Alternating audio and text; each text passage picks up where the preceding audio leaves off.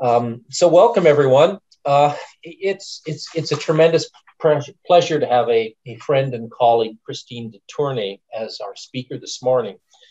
And, and Christine started working as a consultant for Itasca in 1986, and now she is a principal engineer at that corporation. She holds a geoengineering degree from the University of Liège in Belgium and a Master of Science and a PhD um, in civil engineering from the University of Minnesota. And um, as, as, we know, her expertise is in the development of numerical models um, uh, with application to coupled fluid thermal mechanical problems. And in that respect, she has contributed to the development of multiple Itasca codes, and that includes FLAC, FLAC 3D, 3DEC, and more recently XSite. And she is the principal developer for the groundwater flow and thermal logic in FLAC 3D and has been involved in the implementation of um, uh, constitutive models that are available within Itasca's continuum codes. And Christine, um, in addition to this, she has worked in consulting and development in various projects related to um, oil and gas, and this included work on hydraulic fracturing, as well as projects pertaining to underground waste repositories, geothermal applications, slope stability, soil liquefaction, CO2 sequestration. As you can see, uh, Christine has, has a, uh, a varied, diverse, and comprehensive career, including more than 65 publications, some book chapters, and et cetera, et cetera. And so really a, a tremendous pleasure to introduce Christine Detournay. Thank you very much. Thank you for inviting me, John. It's, it's really a, a great honor. And thank you to you, gang, for facilitating this. so today, uh, I would like to walk you to a series of numerical simulation example that we have used over the past 10 years almost to study, explore the topic of hydraulic fracture interference. And of course, I would like to acknowledge, you know, the contribution of my colleague, Branko Damjanac, Murillo, who I think is here today, and Peter Cundall is also here, I think. So here is the program of the tour.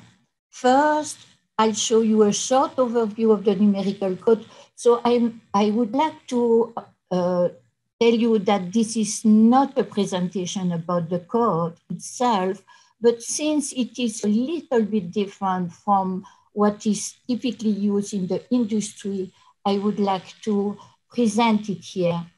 And then we'll tour the numerical simulation example that we have selected uh, because they uh, offer some surprising result, at least to us.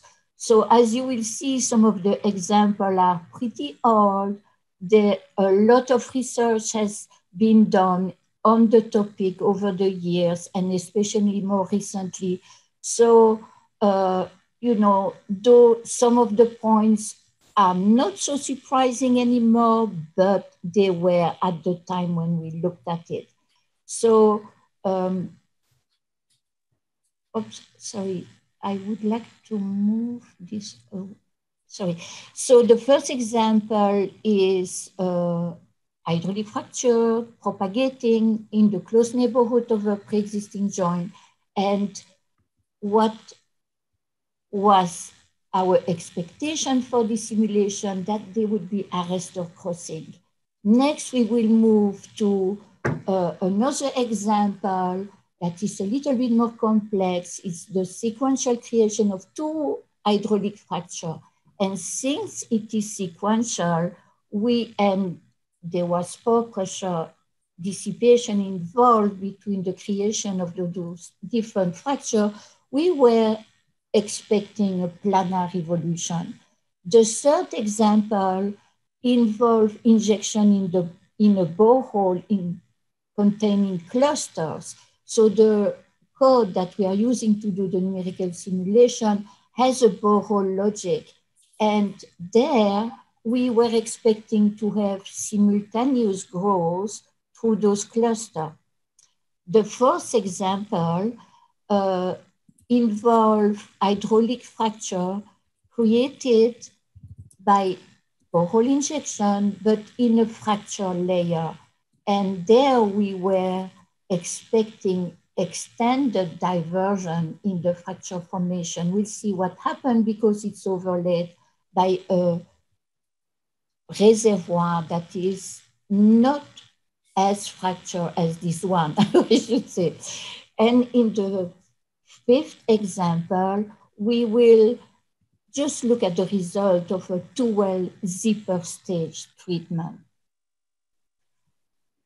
So here is the, our overview of the code that we use. is the 3D code that is developed by the company I work for, Itasca Consulting. And the code is called XSite. It's used to simulate propagation of hydraulic fracture in conventional, but also in naturally fractured reservoir. And it can model injection production for multiple borehole and multiple cluster. You see there is like a picture on the left of the screen that illustrates the borehole with a series of clusters.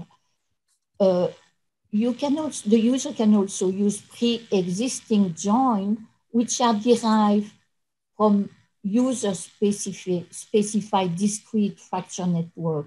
An example of uh, that network is shown on the picture to the right of the screen. In that code, hydraulic fracture propagation is modeled as intact rock failure in tension, but also as slip and opening on joints.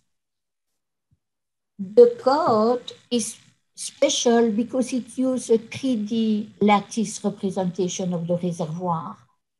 The representation involves a quasi-random assembly of point mass which are connected by springs. There is a very cool representation of this lattice in 2D on, on the right of the screen.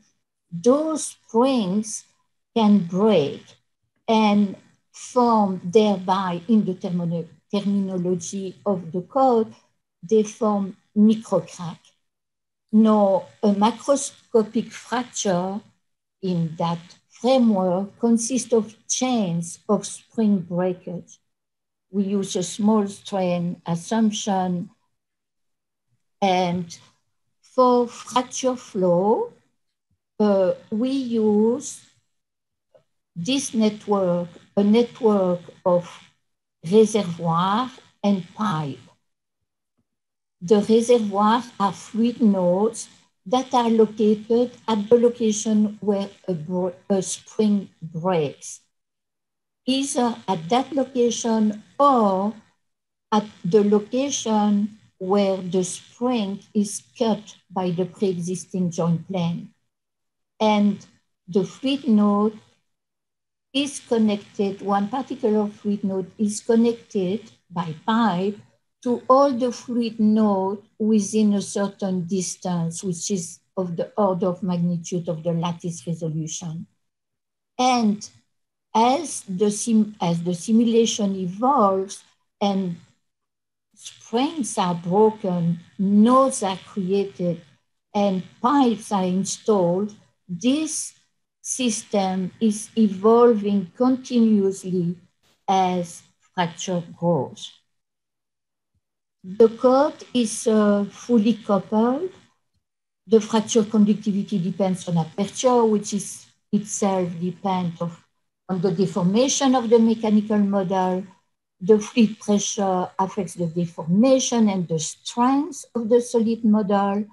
And we have also the coupling whereby deformation of the solid model affects the fluid pressure.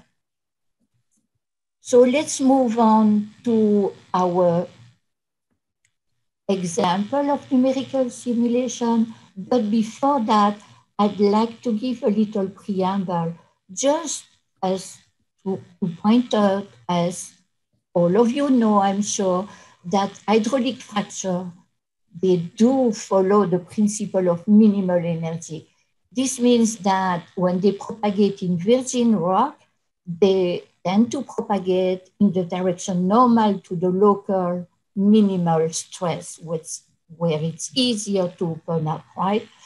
And in fracture major, they tend to pick the easiest path, which can be either uh, the most adaptly oriented pre-existing fracture or and the virgin rock. And uh, the topic of the, of the, of the tour is hydraulic fracture interference.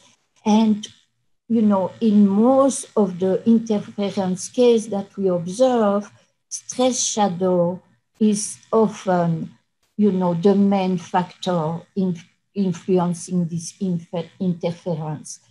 And we give here a very simple, uh, a very simple uh, uh, uh example, which is an axisymmetric crack, which is under uniform pressure, internal pressure.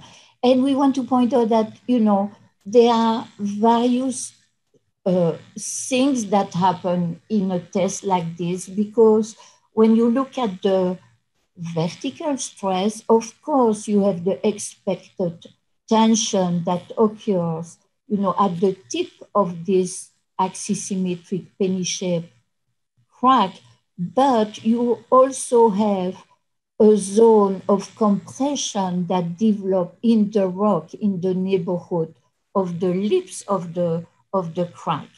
And it is this augmented uh, compressive stress, which is caused by the fluid pressure in the fracture or by a residual uh, fracture aperture when the fracture closed, that modifies the virgin stress state and then impact the direction of the principal stress but also, of course, the direction and the amount of new and simultaneous growth of the fracture, the hydraulic fracture.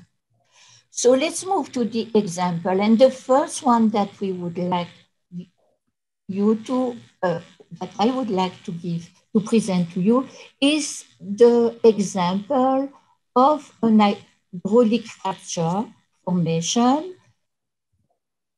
through injection in the vicinity of a pre-existing crack. The pre-existing crack is a penny-shaped crack represented uh, in brown here on the, oops, I'm sorry,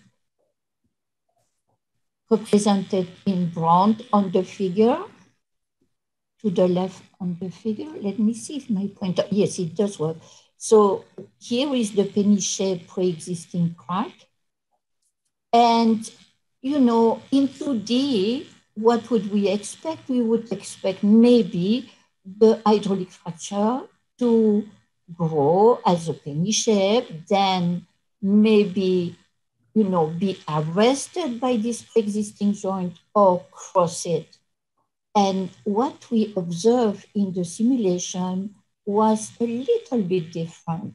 So here is our penny shape growing, interfering our hydraulic fracture, uh, interfering with this uh, pre-existing joint, but then it propagates, you know, around the pre-existing crack. And at the end of the simulation, you know, it's almost penny shape as if, you know, it had forgotten about the existence even of that pre-existing crack on its path. So this is one result that we found, you know, quite interesting, a 3D result typically, right? The second example is uh, that of attraction and repulsion of two sequential hydraulic fracture. And this, this example is presented in the context of cave mining operation uh, that often use preconditioning of the rock mass by hydraulic fracturing to increase the caving efficiency. In this technique, there is an array of hydraulic fracture that are generated from vertical borehole. And extensive field and lab observation have shown that closely spaced fractures, in fact, do not remain planar.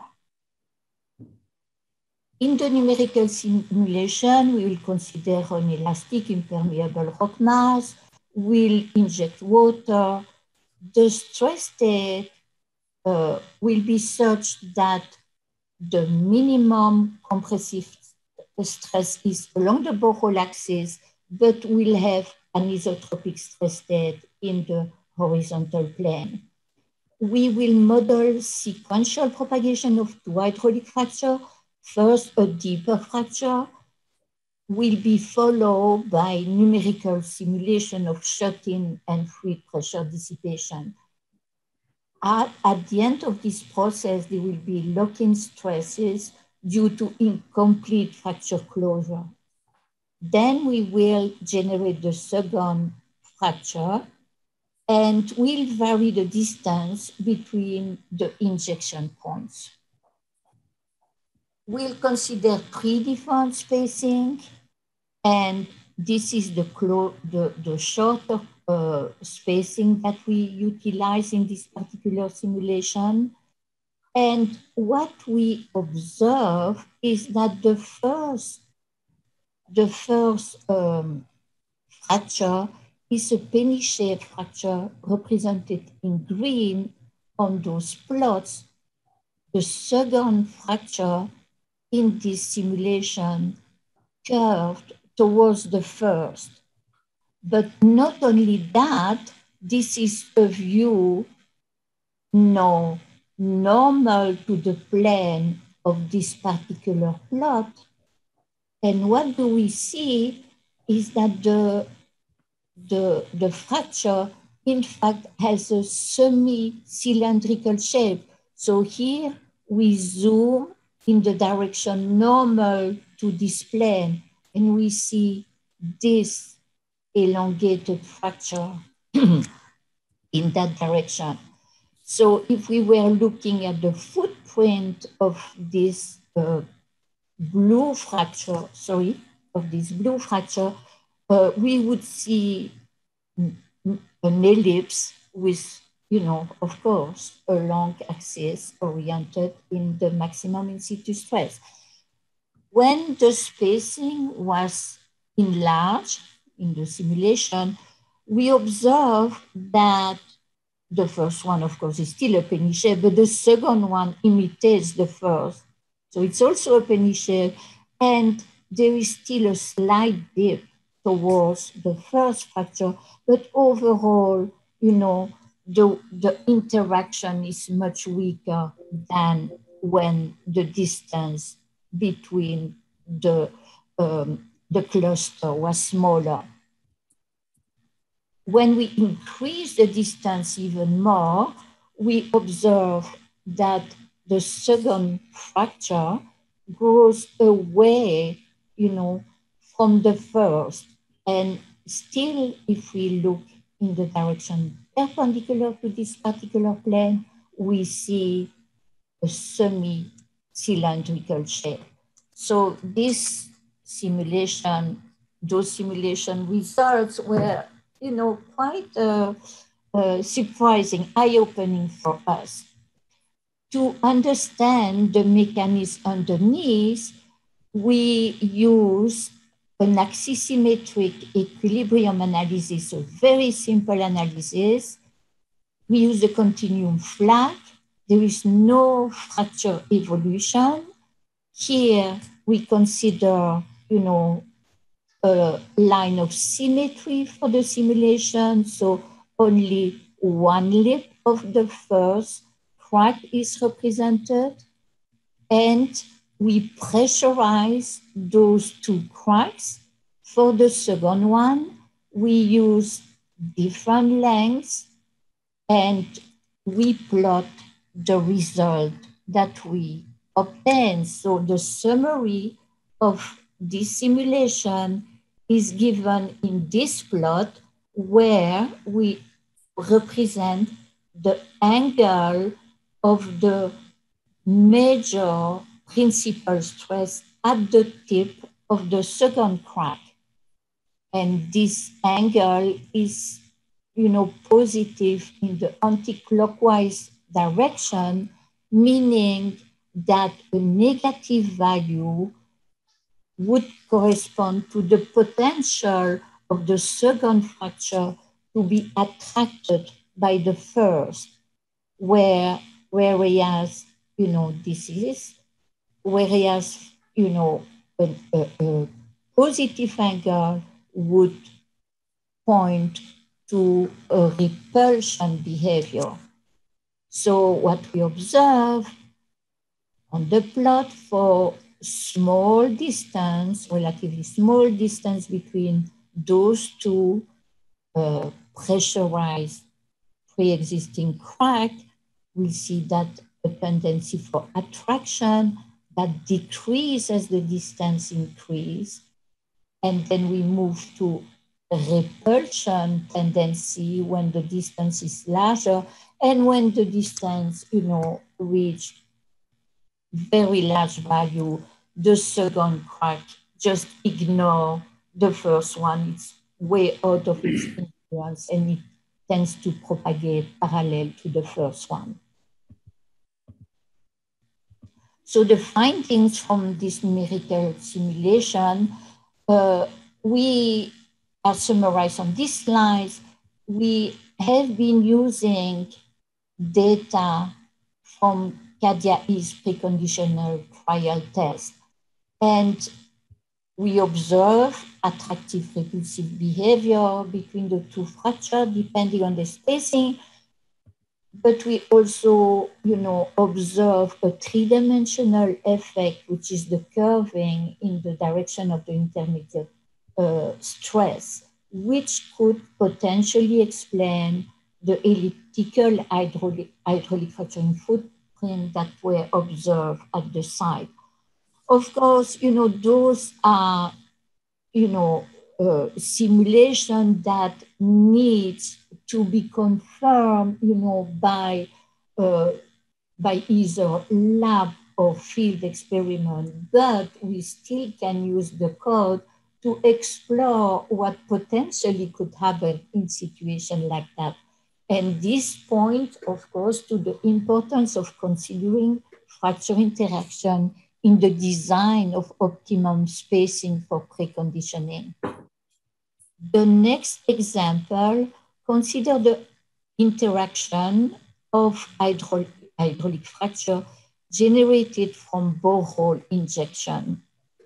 And the uh, framework, the context for this analysis is hydraulic fracturing in oil gas shale.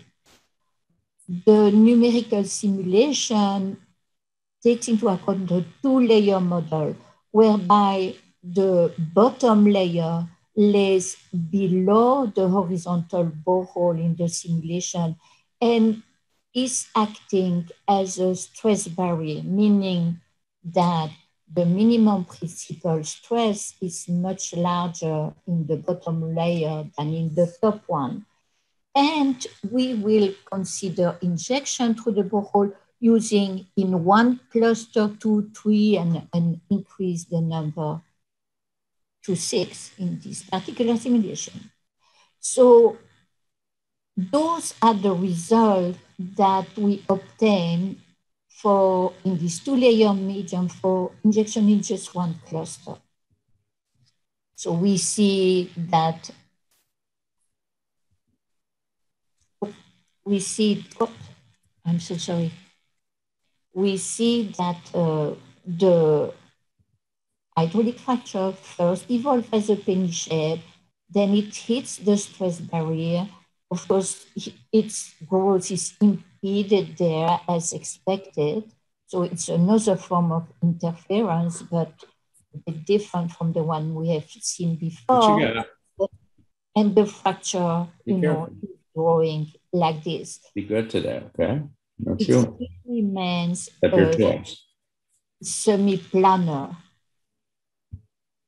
If we consider two clusters, what happens? Those particular clusters are distant uh, by 30 meter. uh, in um, and what do we see? That those two fractures evolve simultaneously and have, you know, parallel to each other. They have the same shape, but also the same size. For tree cluster, first, for the, to study the case of tree clusters, first we turn back to the two cluster case and move those clusters closer apart. There, we still see that the two fractures have more or less the same size, the same uh, shape, and uh, move only slightly apart, you know, because of the stress shadow effect. When we add a third cluster in the simulation, 50 meter apart, what do we see? We see that the middle fracture experience a gross repression. And this, you know, is a result of a combination of stress shadow effect, but also slight inhomogeneity uh, in the system that, uh, you know, uh, creates a little bit of a delay. So the, the middle fracture is probably starting, you know, a bit, you know, later than the other, and its growth is repressed. So, you know, we have seen what, in a simple example, uh, what um, what the stress shadow implies as far as modifying the stresses. So if we move now, I'm sorry, yes, if we move and add more cluster, uh, we see one interesting fact that the edge fracture, meaning the fracture at the edge of the strings of cluster, are promoted but, you know, the middle fracture suffer a growth impediment. And this is shown in this plot. We'll consider the case of six cluster because here we, we again, you know, observe that the edge fracture, you know, which only have a one-sided uh, stress shadow exposure, let's say, their growth is favored, but the middle fracture in this simulation experience directional growth. So the stress shadow effect, you know, impact the growth of those middle fractures significantly in this simulation. For the fourth example, we will look at the interference caused by a fracture network on the course of hydraulic fracture. The context is, again, hydraulic fracturing in oil gas shale, and we'll take the example of the Appalachian Basin. The numerical simulation involves an XSite model that contains four layers.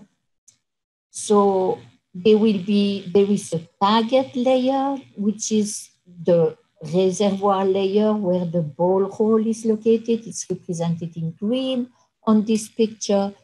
And this layer is overlaid by a thicker layer, which is the main part of the reservoir.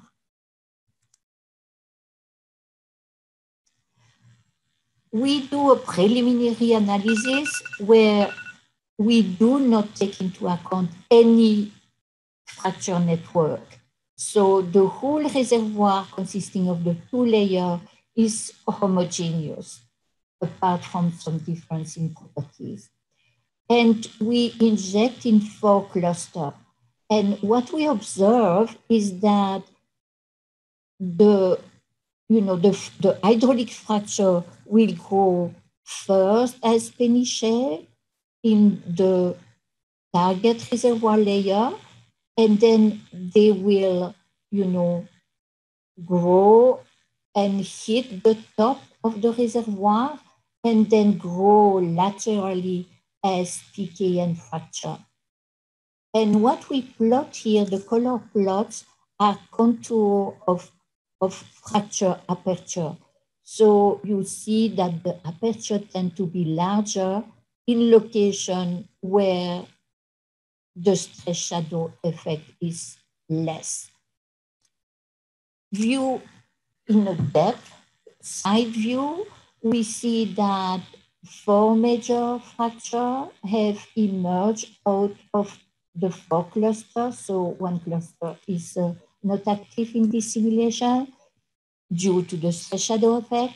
And one of the major fractures is going a little bit apart from the other, but we'll see a strong stress shadow effect whereby, you know, those fractures grow laterally from each other, right? But they remain planar and they evolve in the direction of the perpendicular to the minimum principal stress.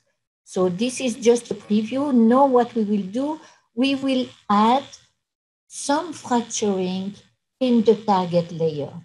And we represent the fracturing by a DFN with three families of, of uh, pre-existing fracture.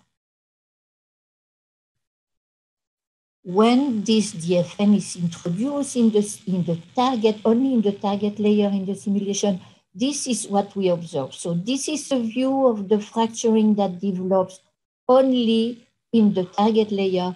And this is a view of the fracture that develop on in the main part of the reservoir. And in both cases, we see that there is a tendency for the generated fracture here uh, to go in the direction of the minimum principal stress. And we observe that, you know, there is growth of, we can say three major uh, main fracture, both in the target, both in the target layer and in the, in the reservoir above it. Of course, you know, the main effect here compared to the previous one uh, is linked to the dimension of the, the fracture, which is much less in the reservoir here than in the previous example due to the diversion, you know, uh, that, that is uh, experienced by the fracture in the DFN. So we see as view of the result here, we see a map view of what happens in the fracture layer. And we see a map view of what is happening in the retica. In the depth view, here we show both layers, but here we show only what is happening in the main reservoir. And one aspect of the simulation that surprised us was that not, was that those the, the main fracture uh, there, there is a breakdown in the main reservoir that start as a swarm of you know, smaller fracture from which only three major one emerge, hit, you know, the, and hit the top of the reservoir. And, you know, of course, the, the emergence point of the major fracture, they do not correspond to the location of the cluster below it due to the diversion uh, experience, you know, in, in the fracture layer below it. So we saw that those results were quite interesting.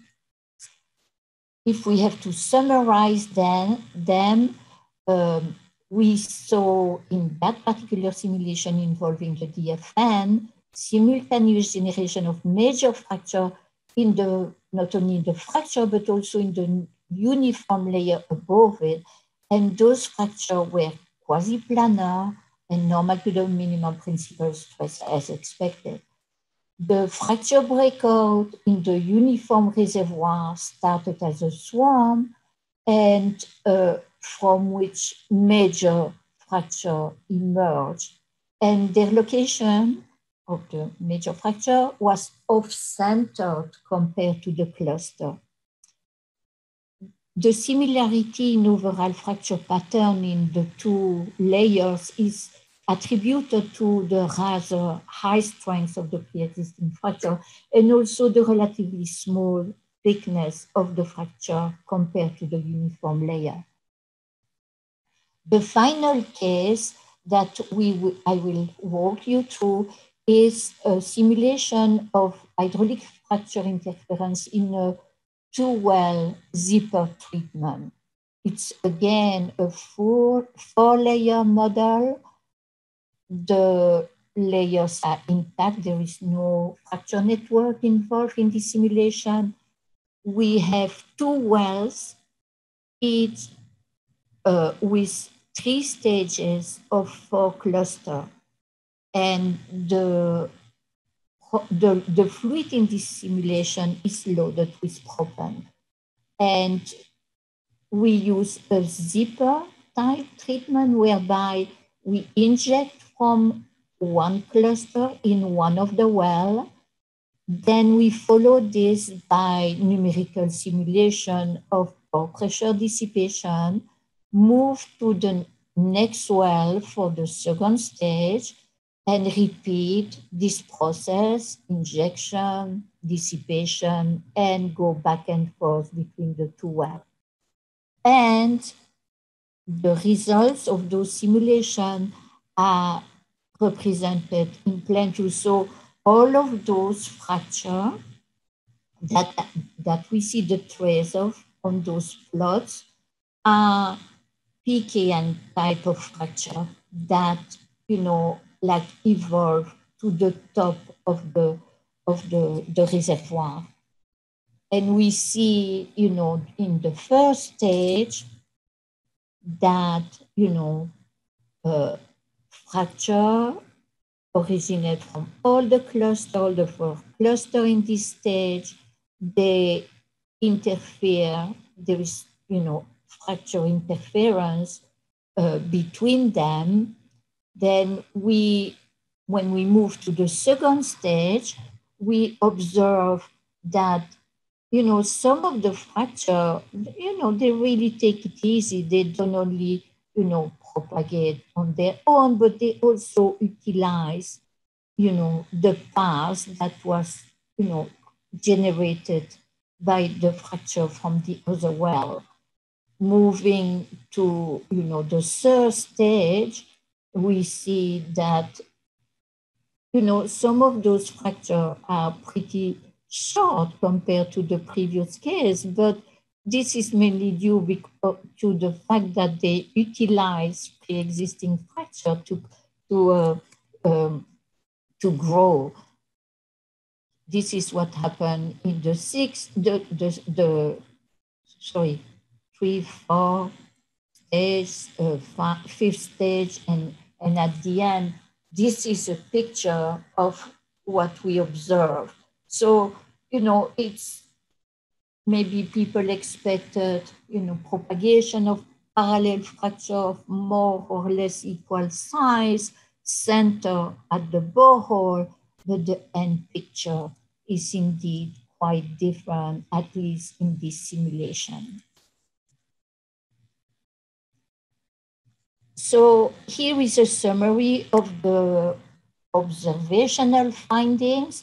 We want to point out that in this uh, particular presentation, we use the code as a tool to uncover some of the mechanisms that could take place in you know a particular sim simulation. We um, we concentrate, you know, on on um, uh, on uh, on a descriptive approach, uh, you know, of, of what could happen in those uh, uh, in the field, and all of those need, you know, like the backup of either laboratory or field of observation uh, but the numerical code is used as uh, a tool to uncover possibilities. So here is a summary of what we uh, illustrated. So what we anticipated in a two fracture in the two fracture simulation was arrest or crossing, and instead we uh, found that the crack decided, the hydraulic fracture decided to wrap around the pre-existing joint. In the second example of sequential injection, we expected planar evolution, but instead we observe uh, attraction repulsion of the, of the crack, of the hydraulic fracture. So in a borehole injection, where we use multiple cluster, we were expecting simultaneous growth of the hydraulic fracture from those clusters, but instead we observe suppression and delay. And in the fracture layer injection, we expect a major diversion in the pre-existing DFN. And what we observe in addition to that was free breakout in a fracture in the overlaid homogeneous layer. And in the two well zipper stage injection, frankly, we didn't know exactly what to expect. We expected a lot of numerical issue, but thanks to Murillo, none of that happened. and Franco, of course, we observe attraction, repulsion, suppression, delay, but also intrusion from new fracture in the existing one. So this um, is the end of the talk. So thank you for your attention. And if you have questions, I will try to respond to you.